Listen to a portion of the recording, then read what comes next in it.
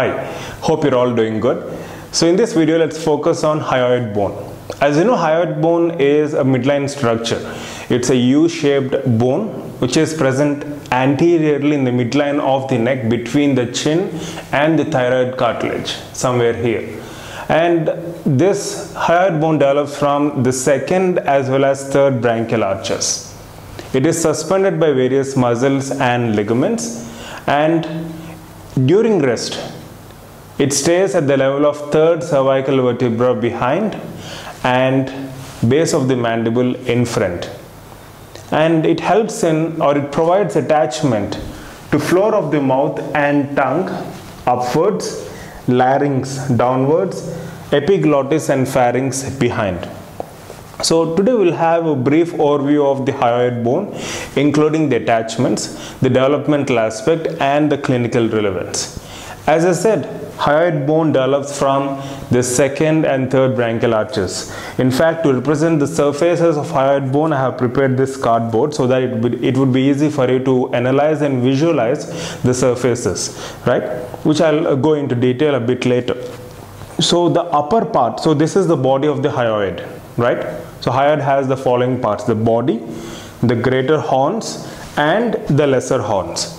So the upper part of the body and the lesser horns are developed from second branchial arch whereas the lower part of the body and the greater horns develop from the third branchial arch. So as I said hyoid bone has a body and two pairs of cornua or horns, the lesser horns and the greater horns. Now it's a U-shaped structure and as you can see the body has two surfaces the anterior surface and the posterior surface. And the body has two borders upper border and lower border. Now coming to greater horns. Greater horns have two surfaces an upper surface and lower surface. See remember in case of body it is upper border and lower border as you can see.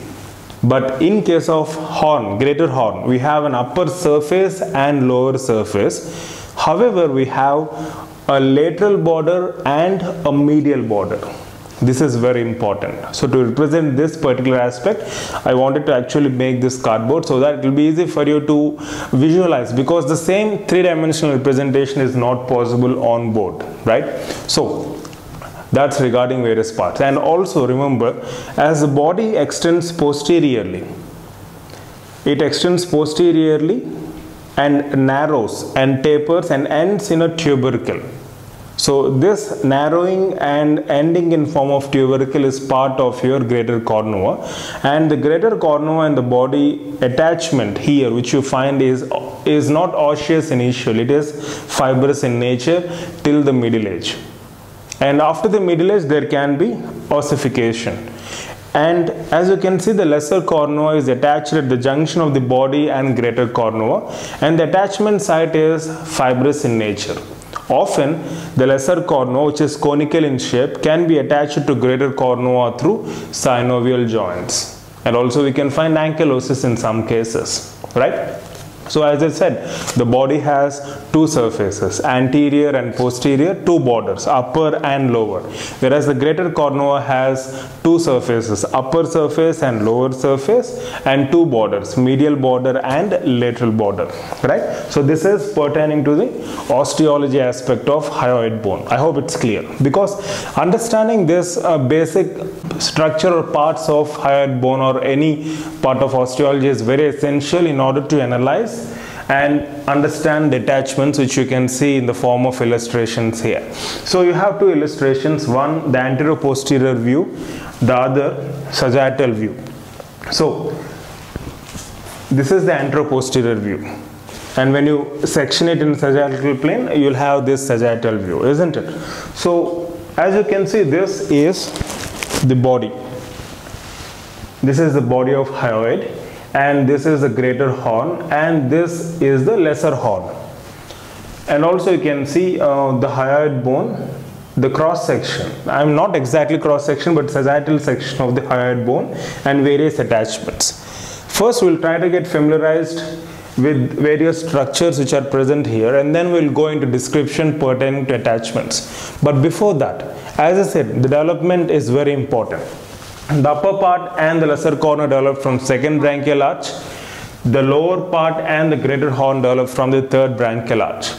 And the clinical relevance as stated uh, in the textbook is in suspected cases of murder, fracture of hyoid bone indicates throttling or strangulation, right?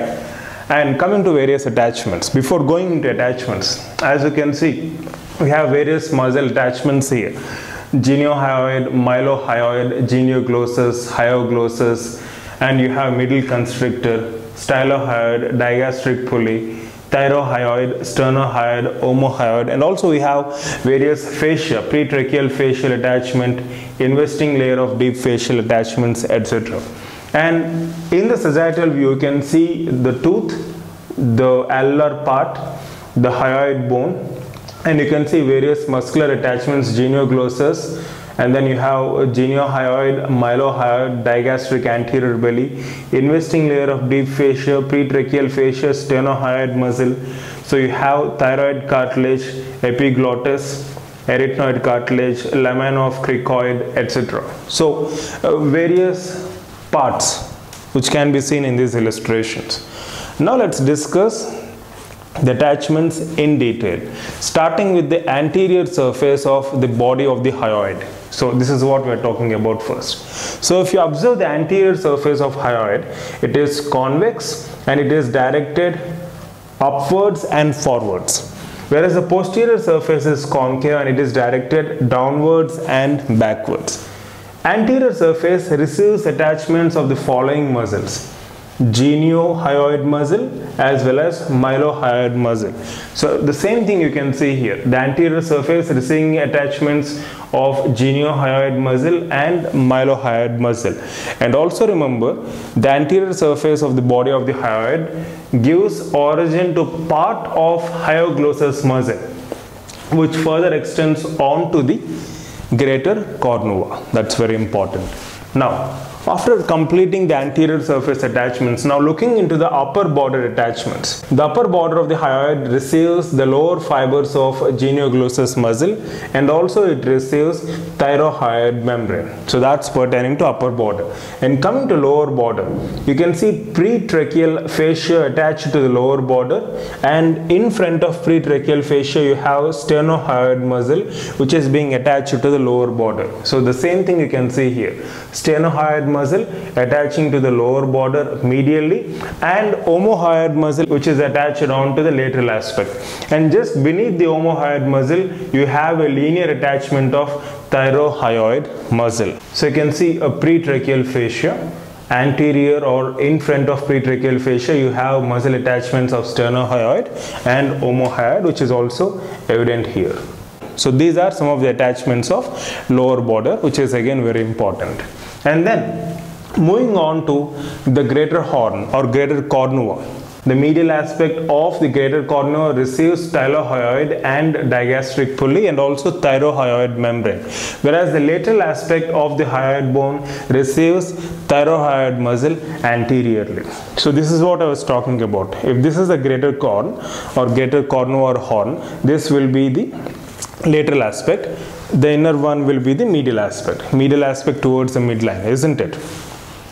So greater horn the medial aspect receives stylohyoid and digastric pulley whereas the lateral aspect receives thyrohyoid muscle. And you can clearly see that this lesser horn which is conical in shape is attached to the junction between the body and the greater horn receives stylohyoid ligament so this lesser horn is the area where there is attachment of stylohyoid ligament. And also middle constrictor muscle originates posterolaterally from this lesser horn and extends on to the greater horn. Right? So these are various attachments pertaining to hyoid bone. Now coming to textbook reference. So I'll be referring Chaurasia here. So hyoid bone is U-shaped It develops from the second and third branchial arches. It is situated in the anterior midline of the neck between the chin and thyroid cartilage. At rest, it lies at the level of third cervical vertebra behind and base of the mandible in front.